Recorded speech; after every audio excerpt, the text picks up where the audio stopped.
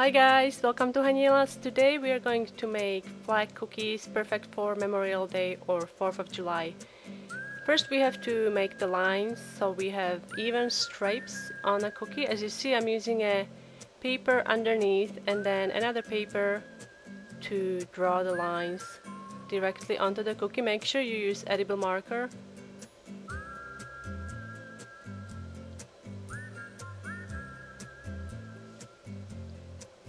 Starting with the red, you're gonna flood every other section.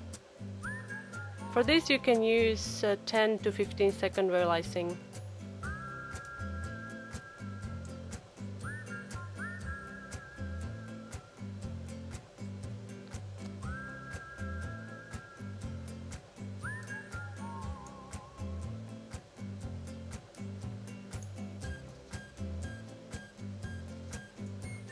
Now we are ready to flood with white.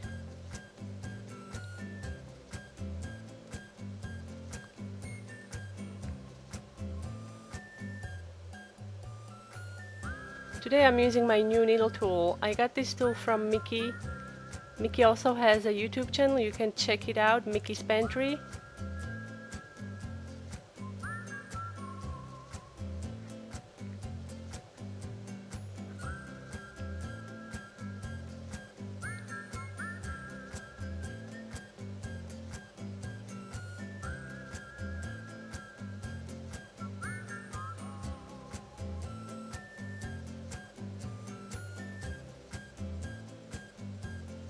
While the blue icing is still wet, you want to pipe little dots using white royal icing.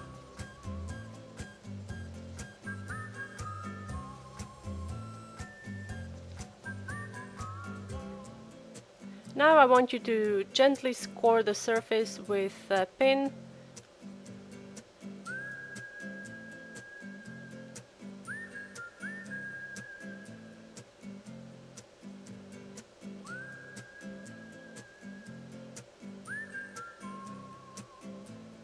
Last thing I want you to do is to apply a little bit of brown petal dust using a soft, fluffy brush.